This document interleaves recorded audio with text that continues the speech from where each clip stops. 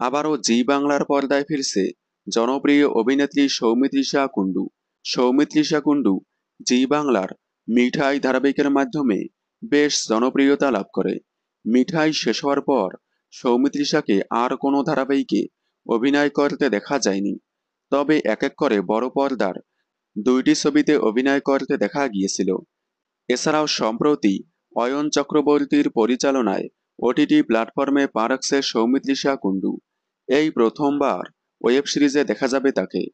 তবে এবার আবারও জি বাংলার পর্দায় ফিরছে অভিনেত্রী সৌমিত্রিষা কুণ্ডু।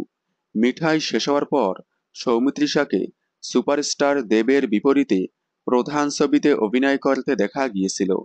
সৌমিত্রিষার বড় পর্দার প্রধান ছবিও বেশ জনপ্রিয়তা লাভ করে। এবার জি বাংলার পর্দায় আসছে সৌমিত্রিষার প্রধান। আগামী বাইশে সেপ্টেম্বর দুপুর আড়াইটায় দেখতে পারবেন সৌমিত্রিষা কুণ্ডু এবং দেব অভিনীত জনপ্রিয় ছবি প্রধান। আপনারা সৌমিত্রিষার প্রধান ছবিটি দেখার জন্য কতটা এক্সাইটেড কমেন্টে জানাবেন।